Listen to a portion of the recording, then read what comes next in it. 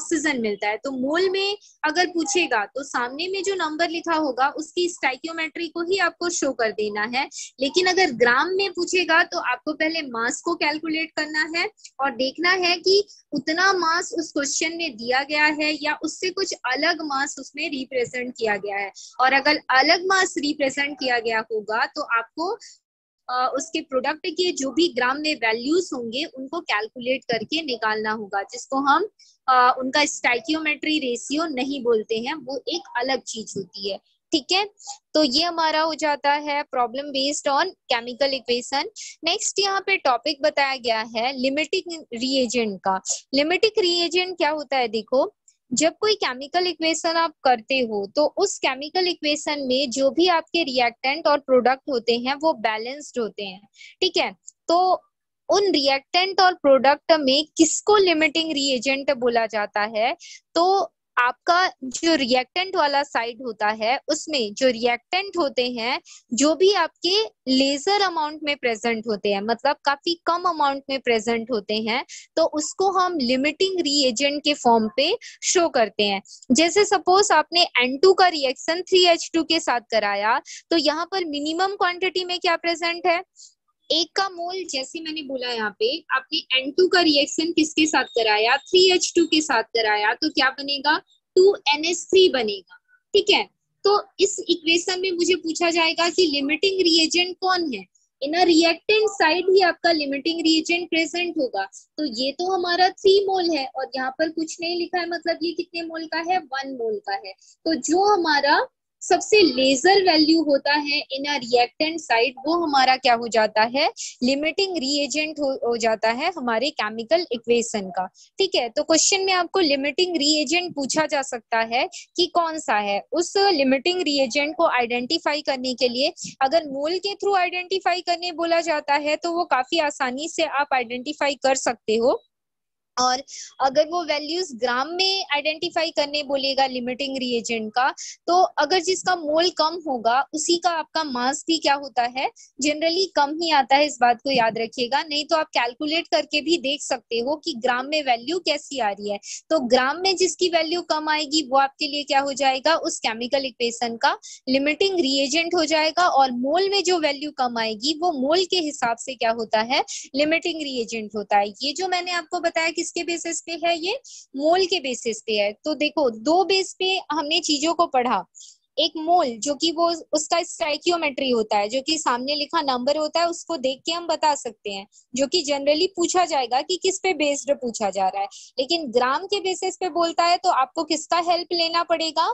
जो भी मॉलिक्यूल्स वहाँ पे दिए हुए हैं, उन मॉलिक्यूल्स के आपको मासेस निकालने होंगे और उन्हीं मासेस के कैलकुलेशन के थ्रू जो वैल्यू सबसे कम आएगी, वही आपका क्या हो जाएगा? किसी भी केमिकल इक्वेशन में उसका लिमिटिंग रिएजेंट हो जाएगा। तो ये क्वेश्चन क्वेश्चन पे डिपेंड करता है कि वो आपको क्या पूछ रहा है? ग्राम के बेसिस पे पूछ रहा है या फिर मोल के बेसिस पे पूछ रहा है? ठीक है?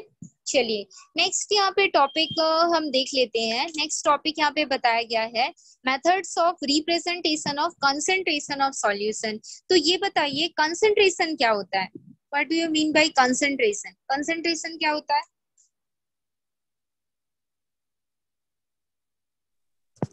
मैम जिसमें सॉल्यूट पार्टिकल्स ज़्यादा रहते हैं जिस सॉल्यूशन में। हाँ बिल्कुल। उसको हम कंसंट्रेटेड बोलते हैं। कोई और बताइए चलिए डाइल्यूट क्या होता है? मैम जिसमें सॉल्यूट सॉल्यूट कम होता है सॉल्वेंट ज़्यादा होता है। वेरी गुड उसको हम क्या बोलते हैं? डाइल्यूट बोलते हैं।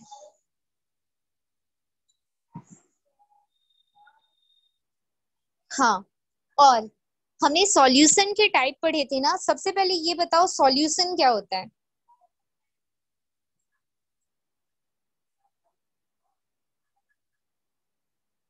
व्हाट इज़ सॉल्यूशन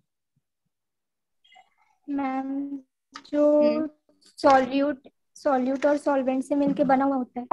हम्म ठीक है। हम सॉल्यूशन की कैटेगरी में two component are present first is solute and second is solvent उसको हम सॉल्यूशन की कैटेगरी में रखते हैं। और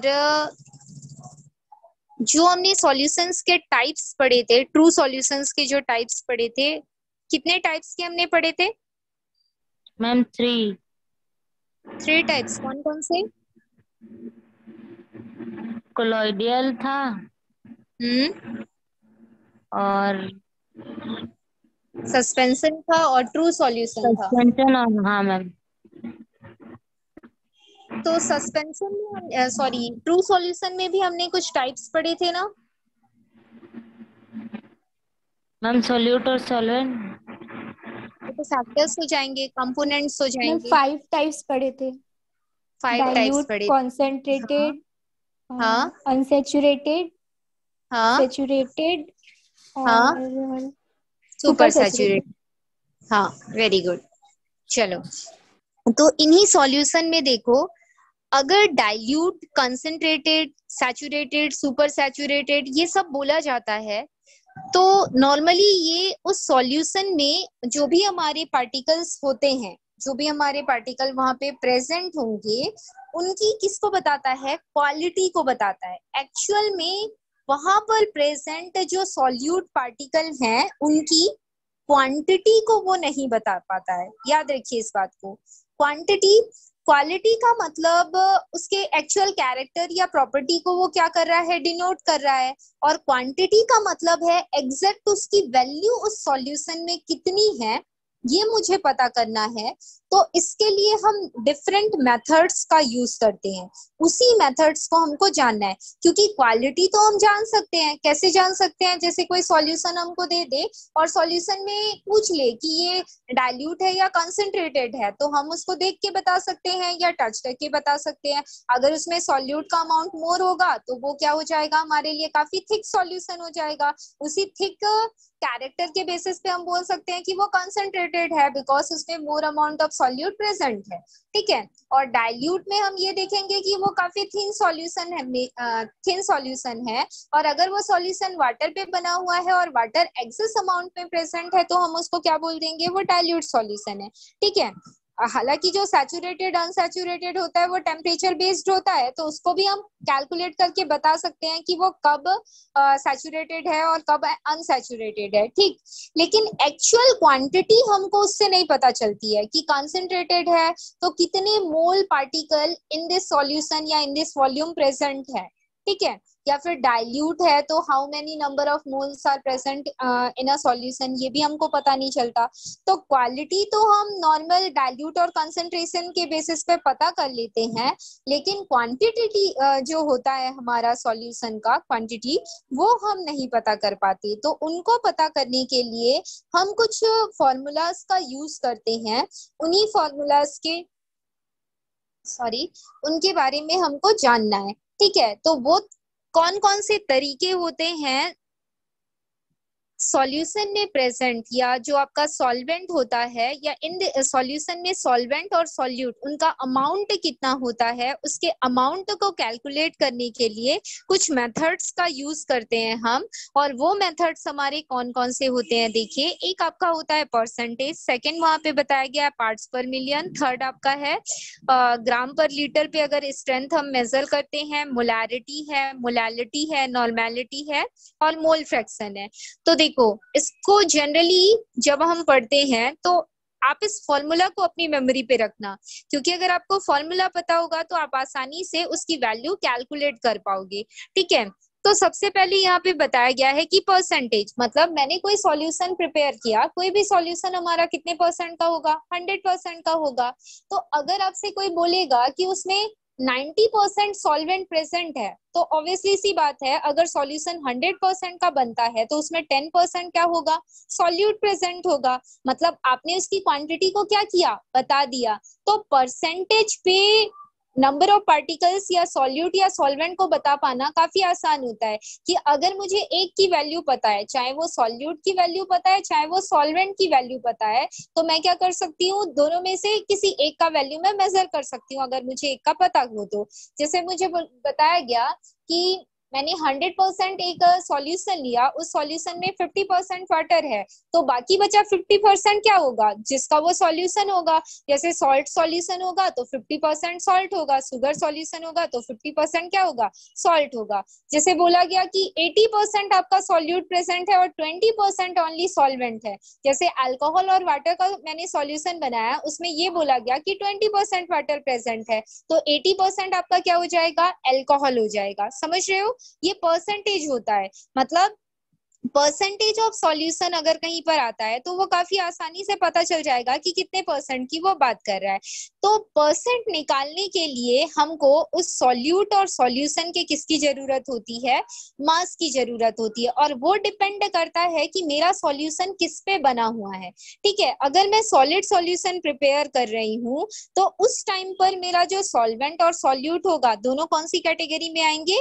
मास की कैटेगरी में आएँगे। ठीक है, अगर मैं मास वॉल्यूम परसेंटेज कैलकुलेट कर रही हूँ तो मेरा जो सॉल्यूट है, उसका तो मास आएगा, लेकिन जो सॉल्वेंट है, वो उसका वॉल्यूम आ रहा है। वॉल्यूम किसका होगा? ऑब्वियसली सी बात है, जो हमारा लिक्विड होगा, उसका होगा। तो सॉल्वेंट क्या हो जाएगा? हमारा लिक्विड हो जाएगा। और नेक्स्ट आता है आपका वॉल्यूम परसेंटेज मतलब मेरा जो सॉल्यूट है और मेरा जो सॉल्वेंट है, दोनों के दोनों कौन सी कैटेगरी में आ रहे हैं? लिक्विड की कैटेगरी में आ रहे हैं, ठीक है? तो इसी के बेसिस पे मतलब सॉल्यूशन के टाइप के बेसिस बेसिस पे या सॉल्वेंट के टाइप के बेसिस पे ये बोला जाए, हमने क्या किया है? परसेंटेज को तीन कैटेगरीज या थ्री टाइप्स के होते हैं, ये यहाँ पे बताया गया है। एक मास परसेंटेज होता है, एक आपका मास वॉल्यूम परसेंटेज होता है और एक वॉल्यूम परसेंटेज होता है। जो आपका मास परसेंटेज होता है, देखिए यहाँ पे शो किया गया है डब्ल्यू बाई डब्ल्यू परसेंट के फॉर्म पे शो करते हैं और जो आपका वॉल्यूम परसेंटेज होता है, उसको डब्ल्यू बाई वी परसेंट के फॉर्म में शो किया जाता है और वॉल्यूम परसेंटेज को वी बाई वी परसेंटेज के फॉर्म पे शो किया जाता है। तो देखो, अगर मास परसेंटेज निकालना होता है तो उसके लिए हम क्या लेते हैं? जो भी हमारे सॉल्यूशन में सॉल्यूट का मास होगा डिवाइडेड बाई सॉल्यूशन का मास सॉल्यूशन का मास मतलब देखो, यहाँ पे सॉल्यूशन का मास मतलब क्या है?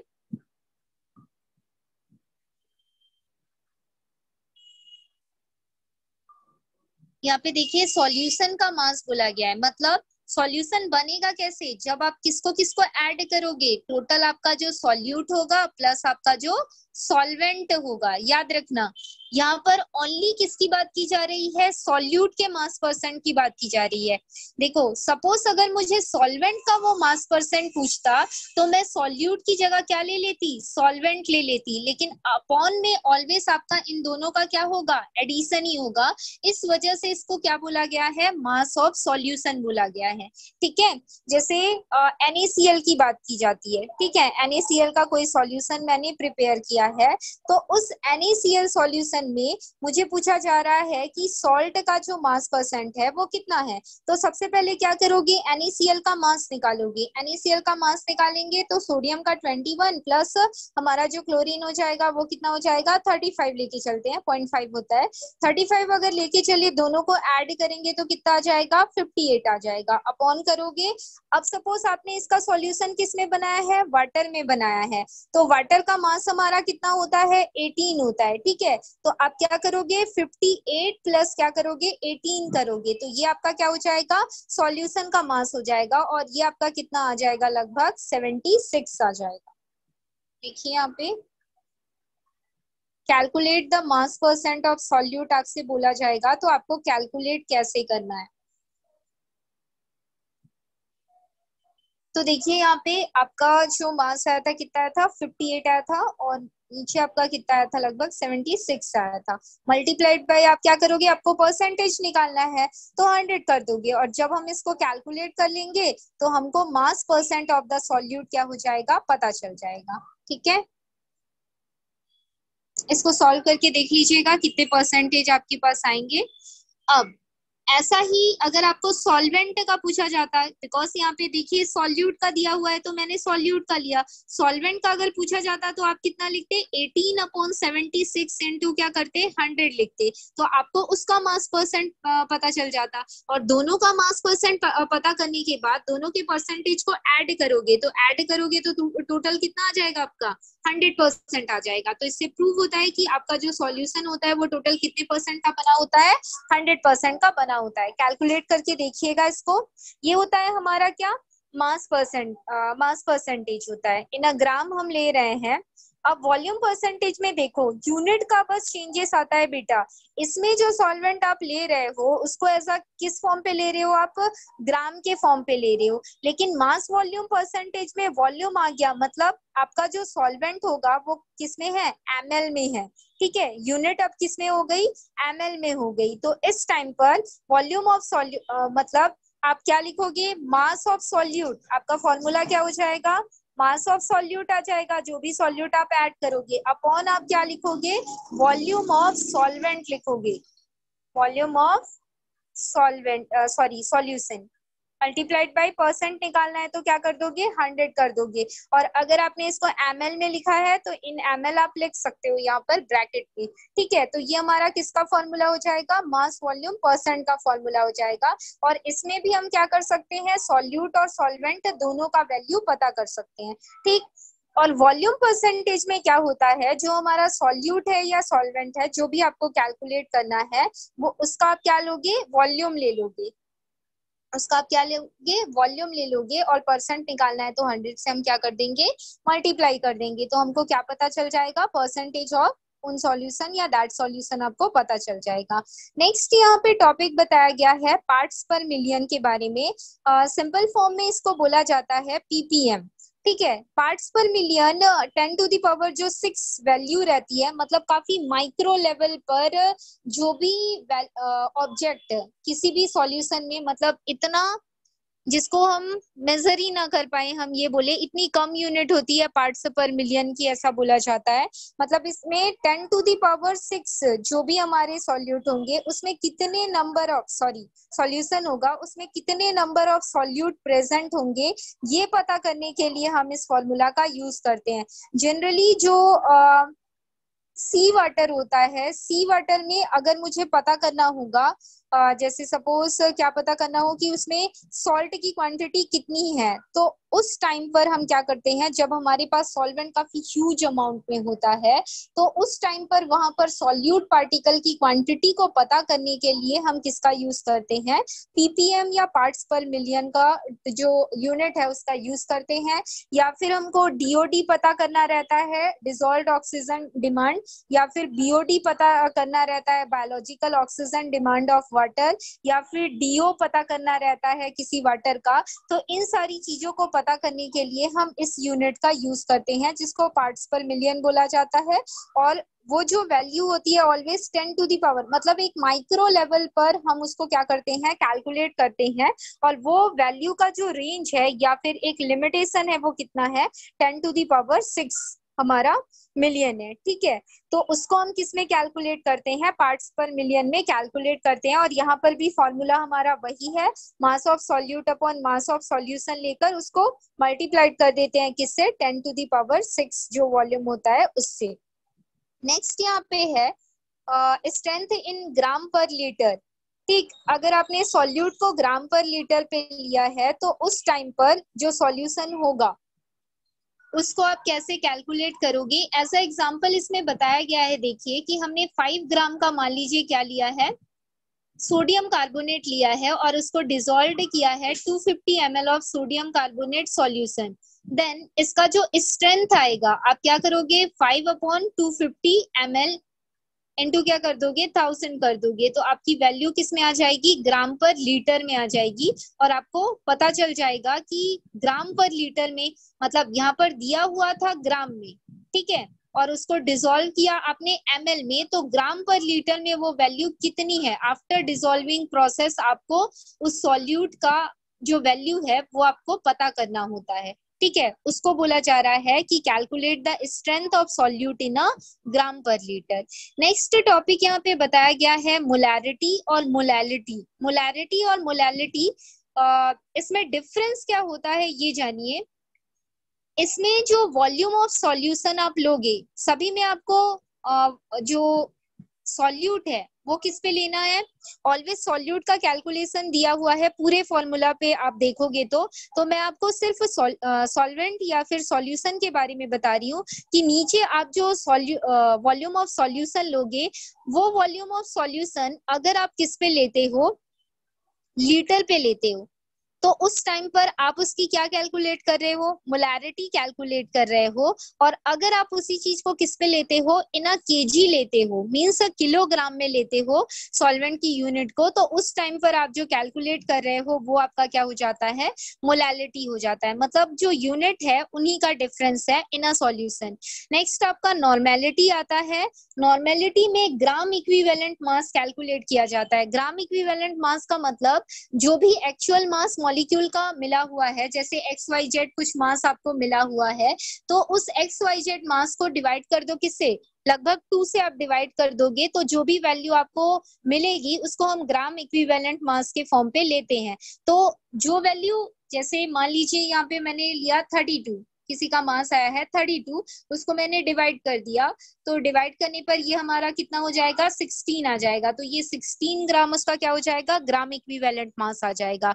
तो जो कंसेंट्रेशन ऑफ़ सॉल्यूट लेते हैं, उसमें हम gram equivalent mass of solute का यूज़ करते हैं। तो उस फॉर्मूला को हम नॉर्मेलिटी के टर्म पे क्या करते हैं? डिनोट करते हैं। नेक्स्ट आपका होता है मोल फ्रैक्शन मोल फ्रैक्शन जो होता है, उसमें नंबर ऑफ़ मोल्स को कैलकुलेट किया जाता है, चाहे वो सॉल्यूट सॉल्यूट का हो, चाहे वो सॉल्वेंट का हो, जैसे सपोज़ मान लीजिए मोल फ्रैक्शन को रिप्रेजेंट किया जाता है एक्स से। किससे रिप्रेजेंट किया जाता है? स्मॉल एक्स से रिप्रेजेंट किया जाता है। ठीक है मान लो मेरे पास सॉल्यूट का जो मोल फ्रैक्शन है उसको मैंने ए माना और सॉल्वेंट का जो मोल फ्रैक्शन है उसको मैंने बी माना ठीक है? और मुझे टोटल मोल फ्रैक्शन कैलकुलेट करके बताना है मतलब ए प्लस बी कैलकुलेट करके बताना है तो ऑलवेज जैसे हंड्रेड परसेंट सॉल्यूशन होता है वैसे ही X A plus X B मतलब सॉल्यूट और सॉल्वेंट को जब हम उसके मोल को ऐड करते हैं तो वो ऑलवेज कितना आता है? वन आता है मतलब आधा मोल आपका सॉल्यूट होगा और आधा मोल आपका क्या हो, जा, हो जाएगा? सॉल्वेंट हो जाएगा। जाएगा। जब हम मोल में निकालते हैं तो एक मोल कंप्लीट होने पर हमारा सॉल्यूशन क्या हो जाता है? प्रिपेयर हो जाता है। और सपोज़ सेपरेटली मुझे क्या करना हो? सॉल्यूट का मास जैसे solute number of moles of solute calculate करना हो तो इसको कैलकुलेट करने का तरीका क्या होता है? एक्स ए इज़ इक्वल जैसे आपको सॉल्यूट का मोल फ्रैक्शन कैलकुलेट करना है तो एक्स ए अपॉन क्या करोगे आप? X A plus X B कर दोगे। तो इस फॉर्मूला के बेसिस पे आप सॉल्यूट का कैलकुलेट कर सकते हो, या फिर आप जैसे किसका सॉल्वेंट का आप कैलकुलेट करना चाहते हैं तो सॉल्वेंट के लिए हम क्या फॉलो करेंगे? यहाँ पर एक्स बी हो जाएगा। अगर आपने उसको सॉल्वेंट माना है, ऊपर आप क्या लिखोगे? एक्स बी अपॉन क्या लिख दोगे? एक्स ए प्लस एक्स भी लिख दोगे तो आपको सॉल्वेंट का क्या पता चल जाएगा? मोल फ्रैक्शन पता चल जाएगा। तो यही तरीका होता है हमारा क्या पता करना? Mole mole fraction of the solution पता करना। दोनों को ऐड करने पर हमको सॉल्यूशन का मोल फ्रैक्शन पता चल जाएगा, जो कि ऑलवेज कितना होगा? वन होगा। ठीक है? तो ये तरीका होता है मोल फ्रैक्शन का। तो हमने डिफरेंट टाइप ऑफ़ यूनिट्स देख ली, जिसमें हमने percentage parts per million strength gram per litre में कब लिया जाता है मोलैरिटी और मोलैलिटी में यूनिट का जो डिफरेंस होता है, वो बताया मैंने। नॉर्मेलिटी में हम ग्राम इक्विवेलेंट मास को कैलकुलेट करते हैं और मोल फ्रैक्शन में सेपरेटली जो सॉल्यूट और सॉल्वेंट का मास आता है, वो ऑलवेज वन मोल के इक्वल आता है। वो हमने कैलकुलेट कर लिया और सेपरेटली कौन से फॉर्मूला को यूज़ करते हुए कैलकुलेट करना है, वो भी मैंने आपको बता दिया ठीक है? इस तरीके से आज आपका चैप्टर जो फ़र्स्ट है, वो कंप्लीट होता है। इसके जो नोट्स हैं, वो मैं आपको कल या फिर सैटरडे की क्लास में सेंड कर दूँगी। और इसके बाद हम सेकंड चैप्टर स्टार्ट करेंगे। हमारा सेकंड चैप्टर है स्ट्रक्चर ऑफ़ एटम तो कल की क्लास में इसके बारे में कुछ आप पढ़ के आइएगा कि एटम का स्ट्रक्चर कैसे होता है कौन कौन से साइंटिस्ट ने इनके डिस्कवरीज की थी इलेक्ट्रॉन प्रोटॉन और न्यूट्रॉन उसके बारे में हमको कैसे कैसे पता चला। ठीक है? तो आज की क्लास हम यहीं पे खत्म करते हैं।